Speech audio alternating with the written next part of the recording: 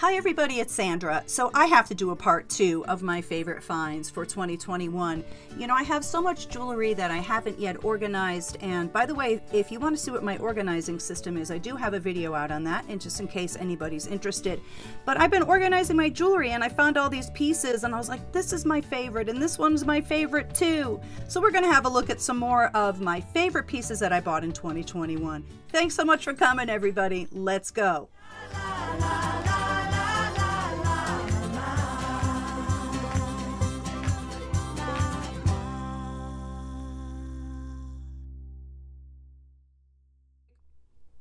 I love Victorian jewelry, and I think this is just the sweetest little piece.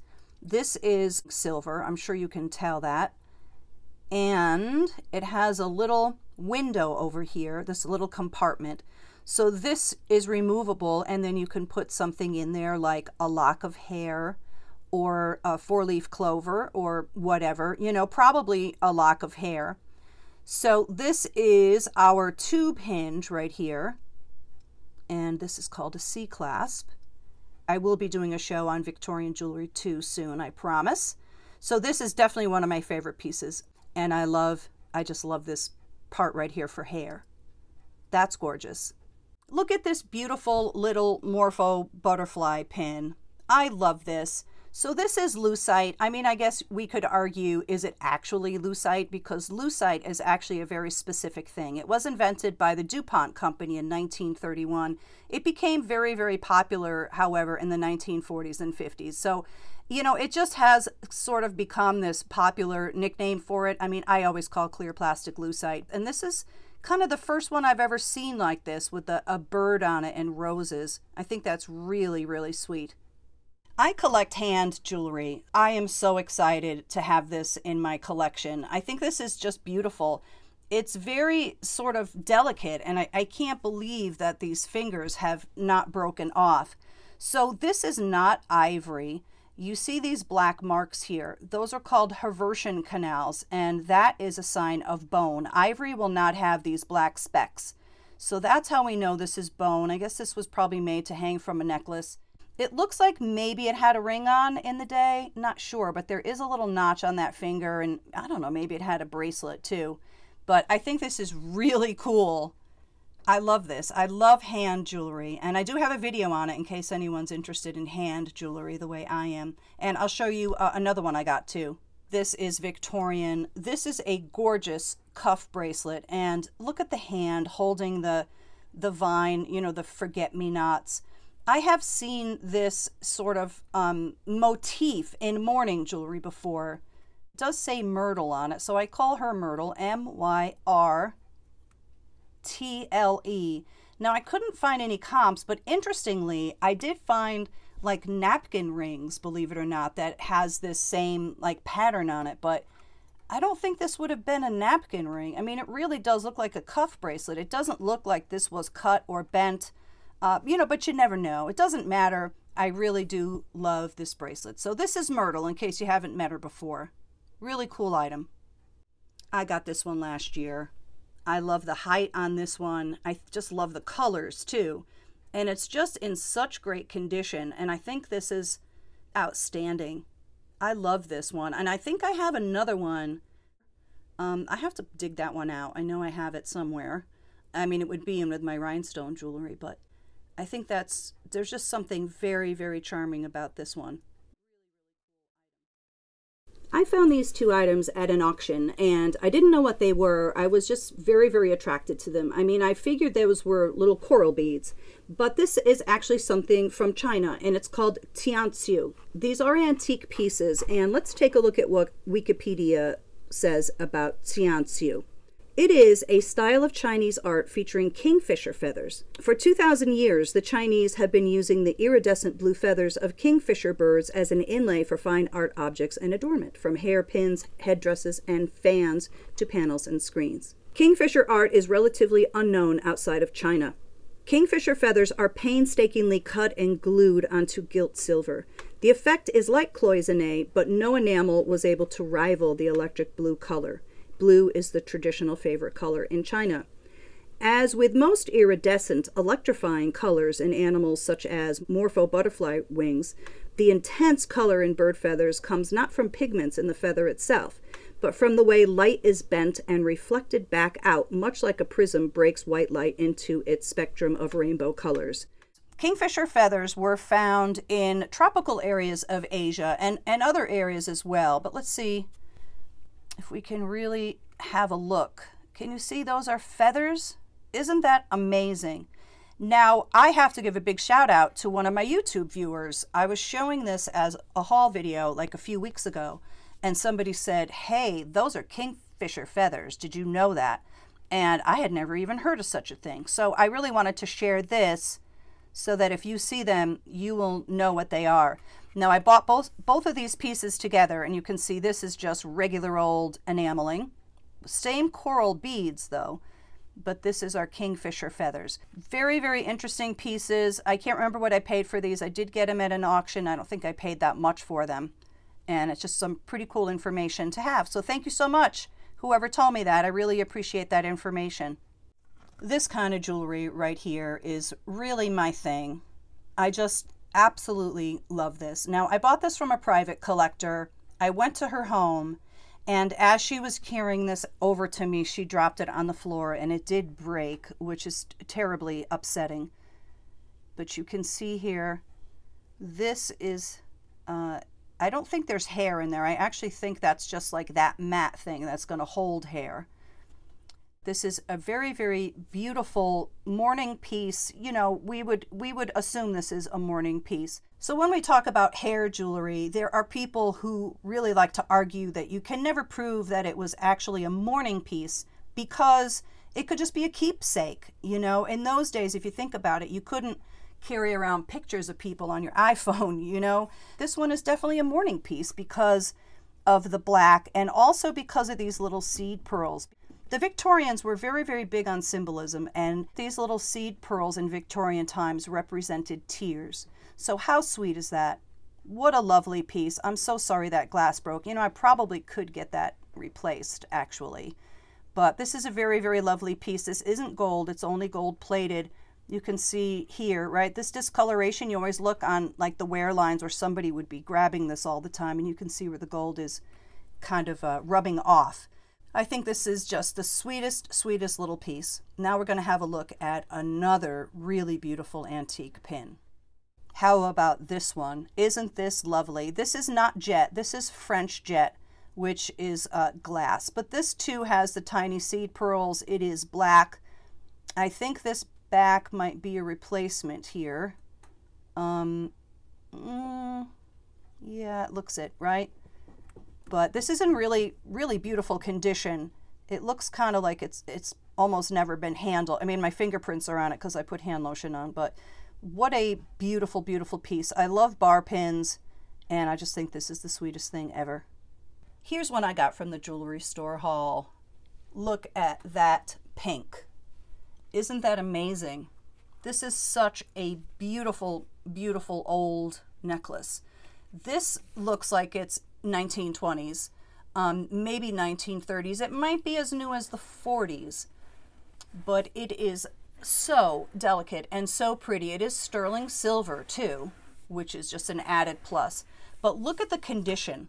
It just it looks like it's never been worn. And I think that is just such a it's just incredibly incredibly beautiful.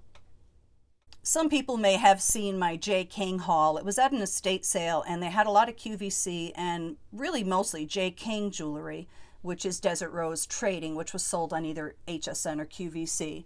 And um, of all the pieces that I got, I have a couple of one, a couple of keepers. This is definitely a keeper. I just love this. It's sterling silver and turquoise. And I love this necklace. Isn't this nice? It is marked here, um, and it has a magnetic closure, but it, it does say Desert Rose Trading there. Can you see it? Yeah, it's kind of hard to see, but I love this. And now it was new in the box, and I don't really have that much turquoise. I don't really see it that much in the Northeast, and I think this is just a beautiful and stunning piece. I bought these beautiful bracelets at a community yard sale, and I think that these are incredible. So this is sterling and turquoise, and they are marked right there, HOB Mexico 925. So HOB is for a company called House of Bangles. You know, again, I don't have many pieces of turquoise in my collection, and I, I just think these are gorgeous. They're very, very heavy, very, very nicely made. Love this bezel setting, right? I think that's just completely beautiful. So it's really nice that I have a pair of them too. I have been enjoying wearing these. I love these bangles. This brooch is kind of epic, don't you think? Look at that blue and green. What a beautiful piece this is. The condition is just so outstanding, you know? I, I don't know. I mean, I did buy it from a jewelry store, uh, but it just seems like it has no handling wear, which is kind of crazy. I mean, I have lots and lots of rhinestone jewelry. I've seen a lot of it. I've sold a lot of it.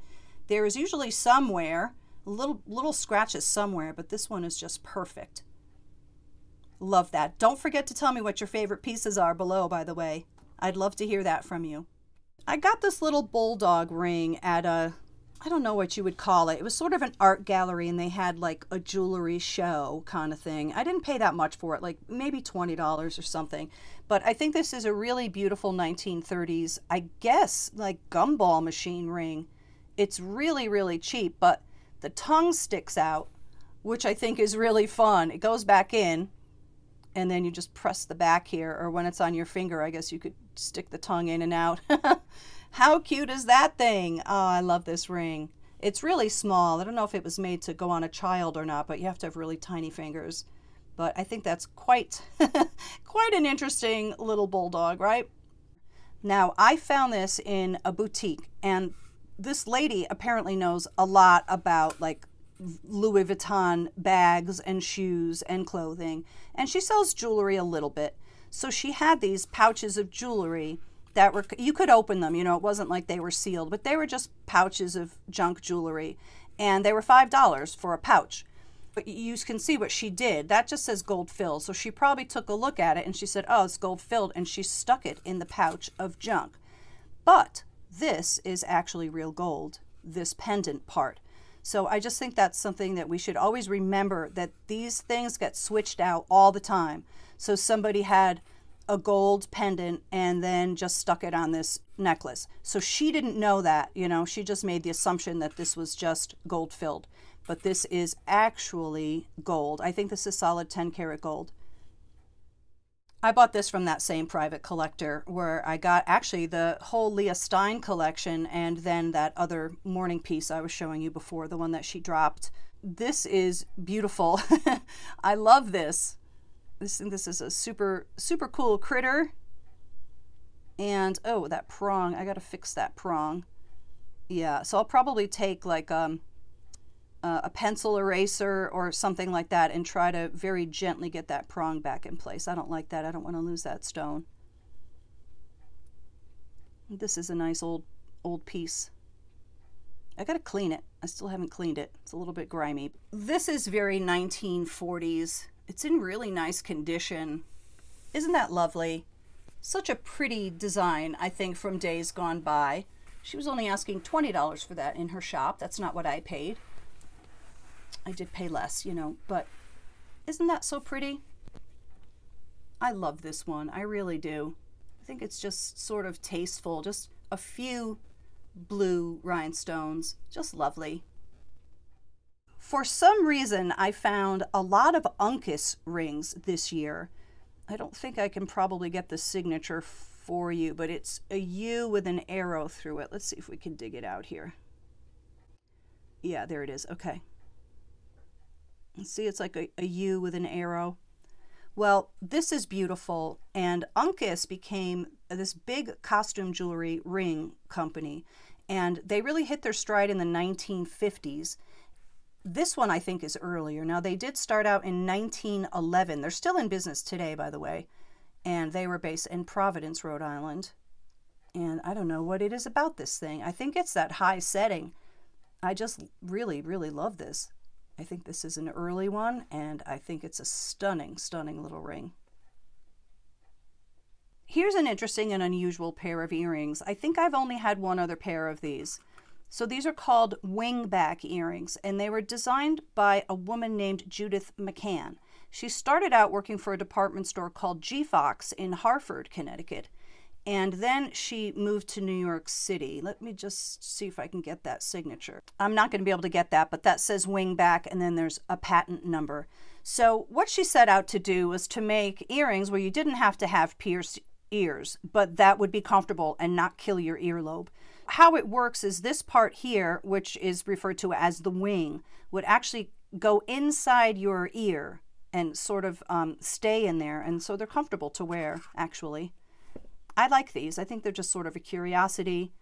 I don't think they ever really quite caught on. So I wanted to just show these for you because I got them last year and they are wingback earrings. My mom loves to pick up jewelry and she loves to pick it up for me. She found these in a thrift store. They are silver and they are designed by a designer named Ed Levin. So these are very cool. He was New York City based. These are probably from the 50s, uh, maybe from the 60s. Super, super cool, modernist. Love these. I have worn these already. And I think these are just super, super interesting, very unusual. These earrings are unusual too. I just love the their whiteness, if that makes sense. Just white and clear. And I think there's something very striking about them. This part is Moonglow Thermoset with a very beautiful, sort of highly faceted Rivoli rhinestone in each center. Clip-on earrings. I love this little pin. I think this is really sweet. This is actually glass. It's curved a little bit. Isn't that so nice? Nice little four-leaf clover in there. This one looks like it's from the 30s or the 40s. I think that's a darling little thing. And here's another one that I would put in the 30s or the 40s. Look at this, hand-painted little rosettes.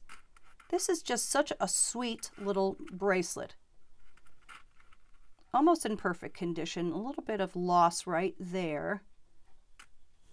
I think that's so girly and it's just so pretty. In my last video, when I was picking out my favorite stick pins, I forgot this one is one of my favorite stick pins that I got from that bunch. I love this antique skull and crossbones. I don't think that eye is age appropriate for him, but I don't know because it actually is glass. I just think the cut of that looks more modern. Uh, but I have to take that out anyhow because I have to put a matching pair. So I'll try to find some old stones that are age appropriate that will fit in there. So I think that's a really awesome stick pin. Look at this amber necklace. Now I got this one at that community yard sale. This is a great thing to look out for because people see this and they just think they're plastic, you know, and people don't understand. I mean, we know, we know that these are valuable they do pass all of the amber tests, including the float test and the black light test, which maybe we should do that. Let me get my black light. I turned off the lights so it would be a little bit easier to see.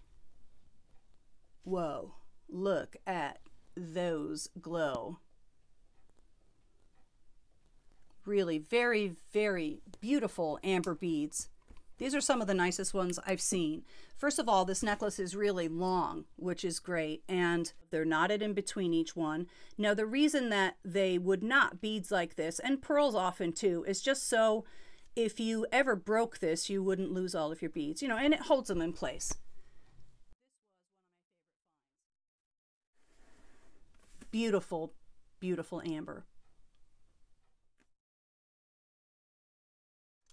Well, thank you again so much for coming to my video today. I hope to catch you soon. Please leave me a comment below. Like this video if you did like it, and consider subscribing to my channel. It's free for you to do, and it would really help me out a lot. Thanks again, everybody. I will see you soon. Have a great day. Bye-bye.